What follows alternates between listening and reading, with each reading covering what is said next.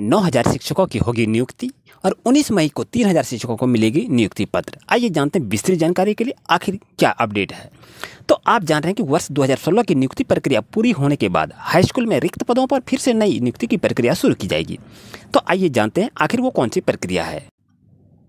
Social media के माध्यम से आपको अपडेट कर रहे हैं कि राज्य झारखंड के हाई स्कूल में 9000 शिक्षकों की नियुक्ति होगी। जिसमें से 3000 शिक्षकों को इस माह 19 मई को अगले माह छः हज़ार शिक्षकों की नियुक्ति पत्र देने की तैयारी है। और बता दें कि राज्य में लगभग सत्रह हज़ार शिक्षकों की नियुक्ति प्रक्रिया वर्ष 2016 से जारी है और इसके तहत आठ हज़ार शिक्षकों की नियुक्ति होगी, हो गई है, जबकि नौ हज़ार शिक्षकों की नियुक्ति होनी अभी बाकी है। वर्ष 2016 की नियुक्ति प्रक्रिया पूरी होने के बाद हाई स्कूल में रिक्त पदों पर फिर से नई नियुक्ति की प्रक्रिया शुरू की जाएगी। राज्य में पिछले छह वर्ष से हाई स्कूल में रिक्त पदों पर शिक्षकों की नियुक्ति की जाएगी। उल्लेखनीय है कि इन पदों पर नियुक्ति के लिए भी पूर्व में सभी जिला से जानकारी मांगी गई थी। अगर आप हमारे चैनल पर नए हैं तो न्यू न्यू अपडेट पाने के लिए अभी सब्सक्राइब करें। छब्बीस हज़ार शिक्षकों की अधियाचना भेजी जाएगी और राज्य के प्राथमिक व मध्य विद्यालय में छब्बीस हज़ार शिक्षकों की नियुक्ति प्रक्रिया भी इस माह शुरू होगी।